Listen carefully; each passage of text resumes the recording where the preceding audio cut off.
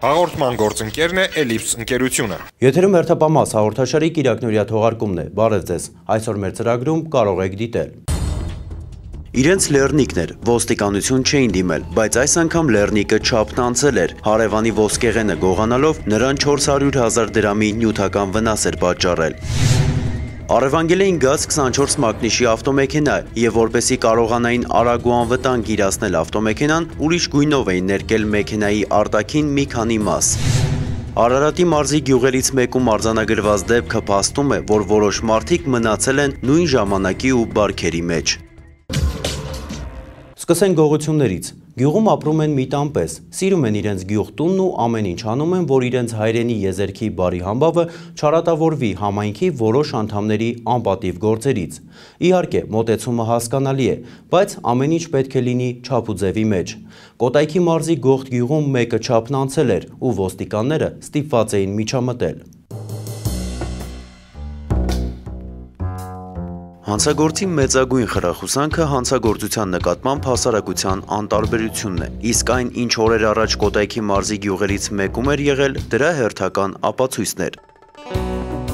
Գողթ գյուղում վերջին երկու տարում 10-ից ավելի գողություն էր կատարվել, սակայն բնակիչներն այդպես էլ չէին դիմել ոստիկանություն։ Ոստիկանության գառնիի բաժանմունքի աշխատակիցները կասկածում էին, թե ով կարող էր անել, սակայն իրեղեն ապացույցներ էին հարկավոր, փաստեր, որոնք դեռևս ոստիկանները չունեին։ Մարտի 14-ին հերթական բնակարանային գողությունը կատարվեց։ Գյուղի տներից մեկի պատուհանով ինչ որ մեկը ներս էր մտել, ննջասենյակի պահարանից հափշտակել ոսկեղենն ու նույն ճանապարհով դուրս եկել։ Տեղեկություններ ստացվեցին, որ լեռնի Լեռնիկ Ստեփանյանը Գողթ գյուղի բնակարաններից մեկից կատարել է ոսկյա զարդերի գողություն։ Մարտի 17-ին ձեռնարկված միջոցառումներով Լեռնիկ Ստեփանյանը Աբովյան քաղաքի Զինկոմիսարիատի մոտից հայտնաբերվել եւ վերման ենթարկվել Կոտակի ոստիկանության բաժին, որտեղ էլ խոստովանել է, որ Գողթ գյուղում կատարել է մի շարք գողություններ։ Լեռնիկ Ստեփանյանը փորձում էր հավատացնել, որ գողության նպատակով չէր այդ օրը հարևանի տուն գնացել, բայց տեսնելով, որ տանը մարդ չկա, սովոր ձեռքը զսպել չէր կարողացել։ Ձերն են տվել մարդ չկար տունը, նայել եմ պատտանը բաց էր, պատտանից ներս եմ։ Անը մեկը ոսկին եմ նա։ Տեսել, եկալ է դուս ենք։ Ոսկեղեն են տարել եմ Ռասիա ոսկու շուկան կինորասիա ծախել եմ Այս պատմության մեջ ուշագրավ է այն, որ Ստեփանյանի արատավոր վարքի մասին գյուղում շատերը գիտեին։ Եղել էին դեպքեր, երբ Լեռնիկը համագյուղացիներից տարբեր կենցաղային իրեր էր գողացել, հետո պահանջել էին վերադարձրել էր։ Հունվարի 27-ին երրորդ փողոցի տներից մեկի խոհանոցի պատուանով ներս էր մտել ու ձայնարկիչ հափշտակել, իսկ դրսի պատից գողացել էր արբանյակային ալեհավաքը, սակայն հաջորդ օրը տանտերը պահանջել էր գողոնը, նա էլ հետ էր բերել։ Կիսակառույց շինությունների մոտից շինանյութ էր գողացել։ Գյուղացիներից մեկի մառանից գինի, Իրենց լեռնիկն էր, ոստիկանություն չէին դիմել, բայց այս անգամ լեռնիկը չափն անցել էր։ Հարևանի ոսկեղենը գողանալով նրան 400 հազար դրամի նյութական վնաս էր պատճառել եւ գողության մասին տեղեկությունները ոստիկանություն էին հասել։ Փաստի արդի ոստիկանության կոտայքի քնչական բաժնում հարուցվել է քրեական գործ։ Քննությունը շարունակվում է։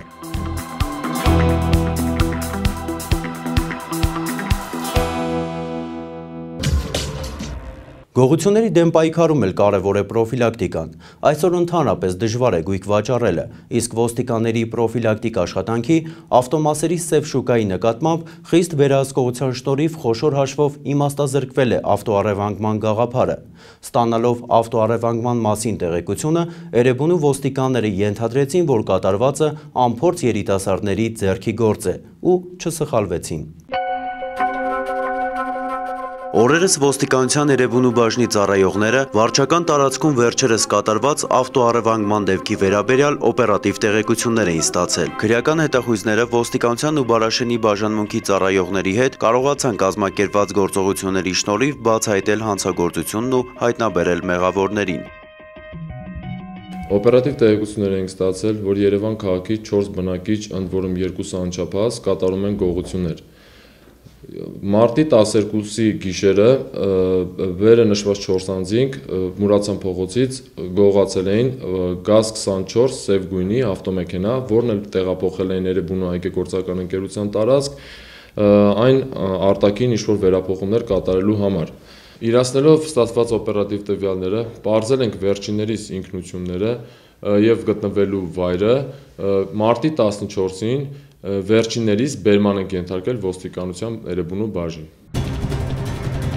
Բերման ենթարկվածներն էին Երևանցիներ Էդուարդ Խաչատրյանը, Գրիգոր Գրիգորյանը եւ անչափահասներ Դավիթն ու Նարեկը, որոնք անհերքելի փաստերի ճնշման տակ շուտով ստիպված էին խոստովանել կատարվածը։ Հանցավոր քարյակի անդամներից ամենամեծն ընդամենը 23 տարեկան էր։ Երկուսը, ինչպես արդեն նշվեց, անչափահաս, սակայն չնայած ոչ այնքան հասուն տարիքին, փաստորեն արդեն հասցրել էին հմտանալ ապօրինությունների մեջ։ Նրանք նախնական համաձայնությամբ մարտի 11-ի գիշերը Մարիաքաղաքի Ռոստոմյան փողոցի շենքերից մեկի մոտից առևանգել էին GAZ-24 մագնիշի ավտոմեքենա, հասցրել ըստ իրենց աչքից հեռու տարածք եւ որպեսի կարողանային արագ ու անվտանգ իրացնել ավտոմեքենան, ուրիշ գույնով էին ներկել մեքենայի արտաքին մի քանի մաս։ Չնայած այս բազմաչարչար գործողություններին մեքենան վաճառել այդպես էլ չկարողացան, բռնվեցին նախքան գործն իր ավարտին հասցնելը։ Շուտով պարզվեց նաեւ, որ հանցավոր քարյակի արկածախնդրությունները այսքանով չեն ավարտվում։ Բացահայտվեց նրանց կատարած ավտոառևանգման եւս մի դեպք, որը որը տեղի էր ունեցել անցյալ տարվա օգոստոսի 30-ին։ Այս անգամ էլ Բերման ենթարկվածների ուշադրության կենտրոնում հայտնվել էր GAZ-24 մագնիշի ավտոմեքենա, որն առանց մեծ դժվարության կարողացել էին առևանգել։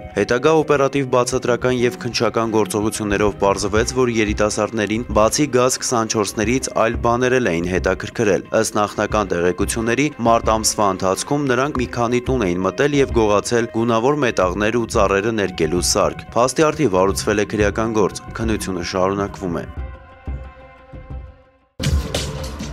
Արտաշատի վարչական տարածքի նշավան գյուղում կրակոց էր եղել, ավելի ստույգ երկու կրակոց։ Մեկի հետևանքը կարող էր կյանք արժենալ, բայց բժիշկների արագ միջամտությունը կանխեց անդառնալին։ Իսկ դուժողի միակ սխալը իհարկե չակերտավոր սխալն այն էր, որ անպատեհ պահի հայտնվել էր անպատեհ տեղում։ Նորագույն տեխնոլոգիաների մեր դարաշրջանում թվում էր Անոշի ու Սարոյի ժամանակները վաղուց են անցել։ Թվում էր գյուղն ազատվել է ադաթից, երբ մեկն աղջիկ էր փախցնում, իսկ մյուսը հրացանը ձեռքին որսում չկայացած փեսային։ Թվում էր, բայց օրերս Արարատի մարզի գյուղերից մեկում արձանագրված դեպքը փաստում է, որ որոշ մարդիկ մնացել են նույն ժամանակի ու բարիկների մեջ։ Մարտի 19-ի ժամը 23:05-ի սահմաններում ոստիկանության արտաշատի բաժնում ահազանգ ստացվեց։ Հայտնում էին, որ Նշավան գյուղից Ձաղ Բասկի հրազենային վնասվածքով Արտաշատի հիվանդանոց է տեղափոխվել մի երիտասարդ։ Օպերատիվ խումբն անհապաղ հիվանդանոց մեկնեց։ Սակայն դուժողի վիճակից ելնելով շտապօգնության բրիգադը նրան Էրեբունու բժշկական կենտրոն էր տեղափոխել։ Իրավապանները զրուցեցին հերթապահ բժշկի հետ, զննեցին կրիմինալ Մատյանը։ Ըստ նախնական վարկածի, երիտասարդը հրազենային վնասվածքը ստացել էր ընկերոջ տանը։ Ոստիկաններից մի քանիսը մեկնեցին Երևան, մյուսները շտապեցին Նշավան։ Ուսումնասիրեցին դեպքի վայրը, զրուցեցին տանտերերի ու հարևանների հետ։ Այդ գիշեր երկու կրակոցի ձայն էր հնչել։ Զննությունը հուշում էր, որ մի դեպքում գնդակը դիպել էր տան շքամուտ մուտքի առաստաղին, մյուսով վիրավորվել էր 30-ամյա երիտասարդը, ում հիվանդանոց էին տեղափոխել։ Ահազանգի կապակցությամբ մեկնել ենք հիվանդանոց, որտեղ պարզվել է, որ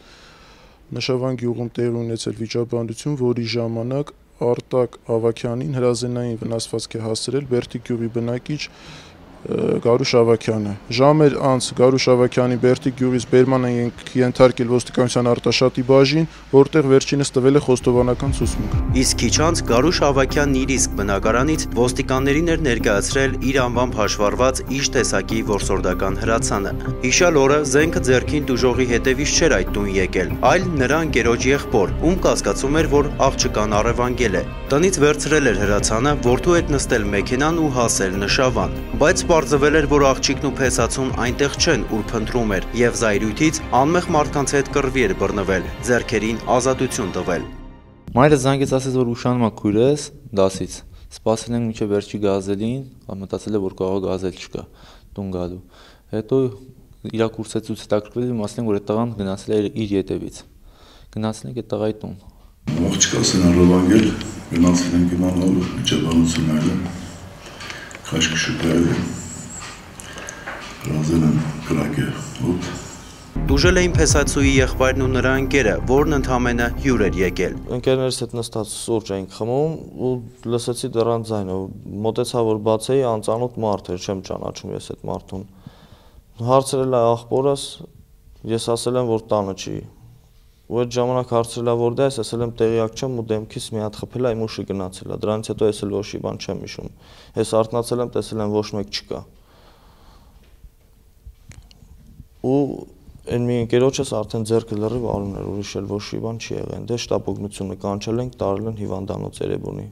Ճիշտ է, վնասվել էր դուժողի միայն ձեռքը, սակայն վնասվածքը խորն էր, եւ եթե շտապօգնության բրիգադը մի փոքր ուշանար, տղան գուցե եւ առնակամ լիներ, բայց ճուշացան։ Արտակ Ավակյանին տեղափոխել են Երևանի բժշկական կենտրոն ծայրահեղ ծանր վիճակում, հիվանդից զախ վերին վերջույթի շրջանում, բասկի ստորին երրորդականի շրջանում ակտա եղել հրազենային վնասվածք, կատարվել է վիրահատություն առնահոսության դադարեցում, վերջույթի առնամատակարարման վերականգնում, տվյալ պայն հիվանդի կյանքին վտանգ չի սպառնում։ Իսկ Գարուշ Ավակյանի աղջկա առևանգման վերաբերյալ հարազատները տարբեր կարծիքներ էին հայտնում։ Երիտասարդ զույգի գտնվելու վայրը դեռևս հայտնի չէ, եւ եթե մինչ այս նրանց միայն աղջկա հայրն էր փնտրում, այսօր արդեն որոնում են նաեւ ոստիկանները։ Փաստի արդիվ քրեական օրենսգրքի 112-րդ հոդվածի առաջին մասի հատկանիշներով հարուցվել է քրեական գործ։ Քննությունը շարունակվում է։ 1990 թվականի սկիզբն էր, դեռ խորհրդային կարգերի ժամանակ եւ առաջինը հենց ոստիկանությունում, այն ժամանակ ներքին գործերի նախարարությունում ստեղծվեց լրատվական խումբ։ Փորձ էր, փորձարարություն, բացվեցին 02 հաղորդաշարը, 02 թերթը, ռադիո 02-ը եւ արդեն փորձ ու փորձարարություն չկար։ Բոլորի համար սովորական դարձան հաղորդաշարն էլ, ռադիո հաղորդումն էլ, թերթն էլ։ Այդպես էլ պետք է լիներ, այլ կերպ չէր կարող։ Իսկ արդեն 1994 թվականի մարտի 15-ին ներքին գործերի նախարարի հրամանով ստեղծվեց հասարակայնության հետ կապի եւ լրատվության վարչությունը։ Այսօր վարչությունը 20 տարեկան է։ Սկզբում չկար փորձ ու ոչ միայն սեփական։ Ներքին գործերի համակարգում լրատվական ծառայություն ունենալու գաղափարն առաջինը հղացվեց ու կյանքի կոչվեց հենց Հայաստանում։ Այսօր կարող է նաև տարօրինակ թվալ, որ հանրապետության միակ ուժային կառույցում էր ստեղծվում ծառայությունը, բայց այդպես եղավ։ Ու ստիպված էր փորձն ու փորձարարությունը ձեռք բերել սեփական աշխատանքով, սովորել սեփական սխալների վրա։ Հետո եկավ անկախությունը, հետո պատերազմը։ Հին աշխարհի ավերակների վրա երկրաշարժից ու պատերազմից երիցս ավերակված Հայաստանում սկսեց բարձրանալ պետականության նոր շենքը, ինչը ենթադրում էր նոր մոտեցումներ, նոր մտածելակերպ ու նոր ռազմավարություն։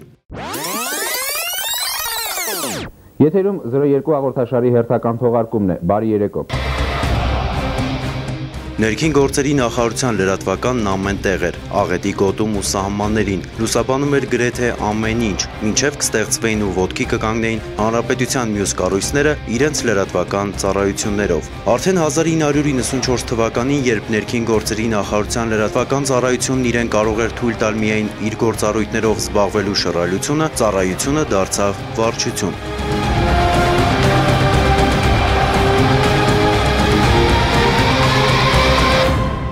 Կյանքին համընթաց քայլելու անհրաժեշտության գիտակցումով վարչությունն անցավ բարդ ու հակասական տարիների միջով։ Ոստիկանության ողջ համակարգի նման ու նրա հետ ունեցավ ձեռքբերումներ ու բաց թողումներ։ Ոստիկանության ղեկավարության աջակցությամբ մշտապես արդիականացվել են տեխնիկական միջոցները, ժամանակին համահունչ տեսայերիզից անցնելով ողջ գործընթացի թվայնացման եւ համակարգչային լուծումների։ Մեծ ուշադրություն է դարձվում աշխատանքային պայմանների բարելավմանը։ Աննախադեպ հնարավորություններ են տալիս նկարահանման նոր տաղավարը, հարմարավետ աշխատասենյակները, ասուլիսների սրահը։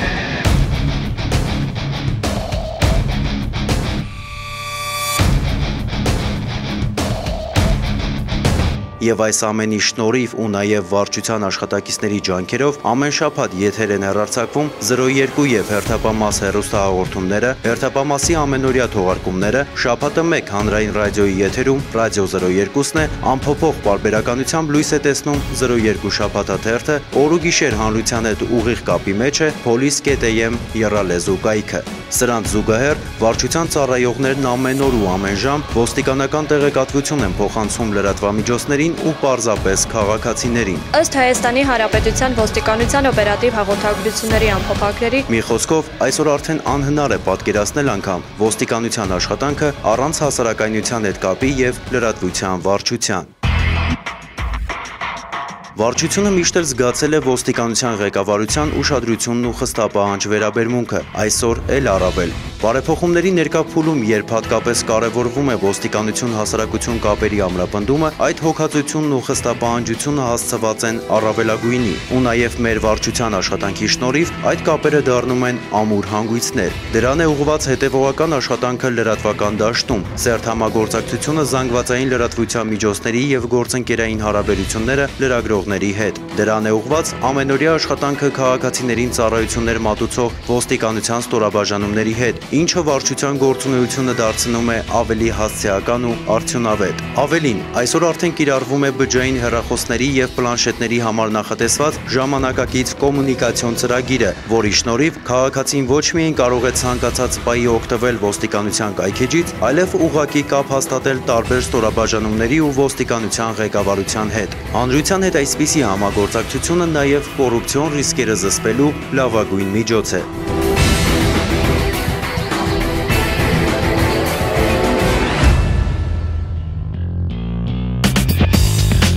Մեր հաղորդումները վարկանիշով միշտ էլ գրավել են առաջնային տեղեր։ Վարչության պատրաստած տեսանյութերը մասնակցել են բազմաթիվ միջազգային փառատոների եւ մրցույթների, շահել մրցանակներ, նաեւ օտարներին ներկայացնելով հանցավորության դեմ հայ ոստիկանների պայքարը։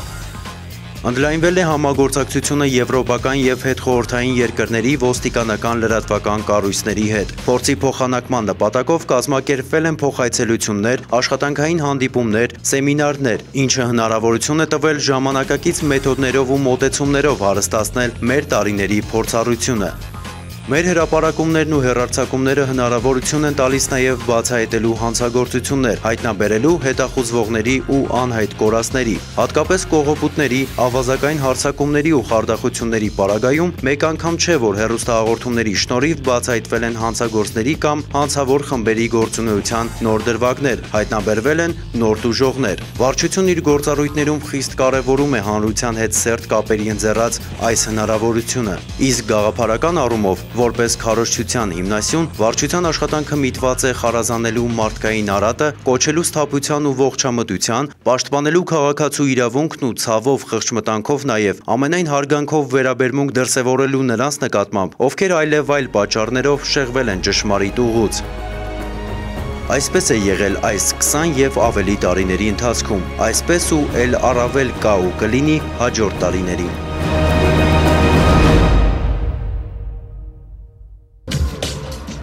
Մեր հաղորդումը մոտենում է ավարտին։ Դուք կարող եք դիտել եւս մեկ տեսանյութ, իսկ ես ձեզ հրաժեշտ եմ տալիս։ Կհանդիպենք հաջորդ Կիրակի։ Ցտեսություն։ Մարտի 20-ին ոստիկանության շտաբի պետ, ոստիկանության գեներալ-մայոր Վարդան Եղիազարյանն ընդունեց Հայաստանի Հանրապետությունում ԱՄՆ դեսպանության թմրամիջոցների դեմ պայքարի եւ իրավապահ մարմինների հետ համագործակցության ծրագրի ղեկավար Էդվարդ Օբրայանին։ Հանդիպման ընթացքում քննարկվեցին Հայաստանի Հանրապետությունում ԱՄՆ դեսպանության թմրամիջոցների դեմ պայքարի եւ իրավապահ մարմինների հետ համագործակցության ծրագրի եւ Հայաստանի Հանրապետության ոստիկանության միջև իրականացվող համատեղ աշխատանքներին գրասենյակի կողմից Հայաստանի Հայաստանի Հանրապետության ոստիկանության տարբեր ստորաբաժանումներին ցուցաբերած օժանդակության, ինչպես եւ առաջիկայում իրականացվելիք ծրագրերին առնչվող հարցեր։ Հանդիպման ավարտին ընթերցվեց Հայաստանի Հանրապետության ոստիկանության պետի հրամանը Հայաստանի Հանրապետությունում երկարամյա աշխատանքային գործունեության, Հայաստանի Հանրապետությունում ԱՄՆ դեսպանության կողմից Հայաստանի Հանրապետության ոստիկանությանը ցուցաբերած աջակցության, ինչպես եւ համատեղ ծրագրերի իրականացման գործում անձնական ավանդ ներդնելու համար Էդվարդ Օբրայանին Հայաստանի Հանրապետության Հանրապետության ոստիկանության պատվոգրով պարգևատրելու մասին։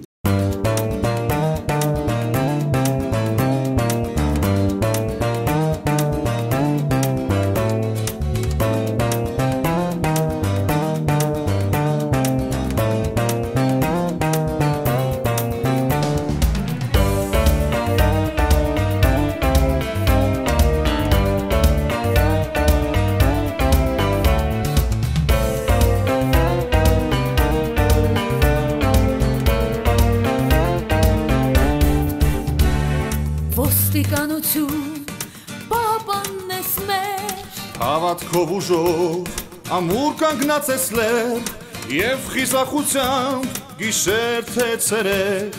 քո երկրի պաշտպանն ես միշտ հայ ոստիկան յանքը անդադար վտանգվում է ձեր սիրտ անդադար բաբախում է ձեր Չեք թողնի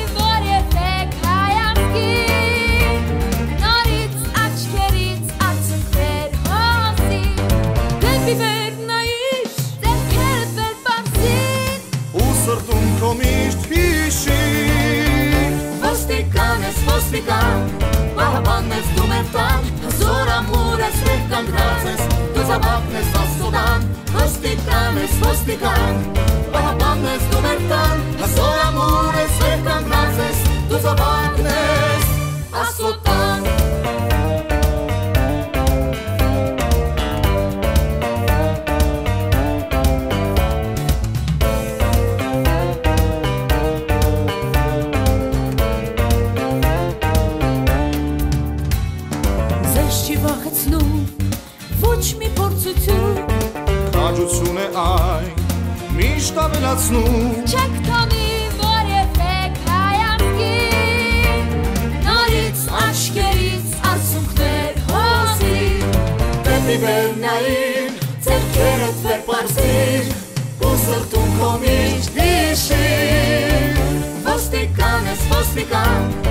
Պահապանն ես դու մեր տան Հզոր ամուր ես մեր կանգնած ես Դու զավակն ես աստուդան Ոստիկան ես ոստիկան Պահապանն ես դու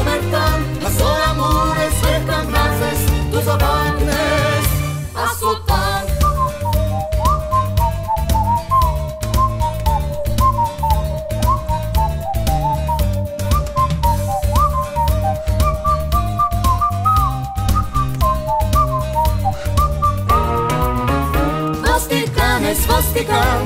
Պահապանն ես դու մեր տան Հզոր ամուր ես մեր կանգնած ես Դու զավակն ես աստուդան Ոստիկան ես ոստիկան Պահապանն ես դու մեր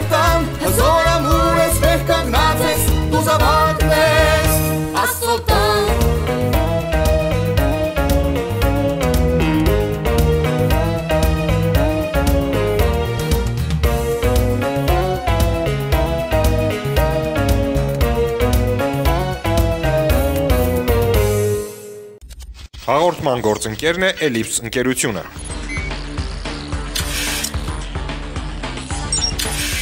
Ellipse 20 տարուց ավելի անվտանգության համակարգերի ոլորտի առաջատարը Հայաստանում։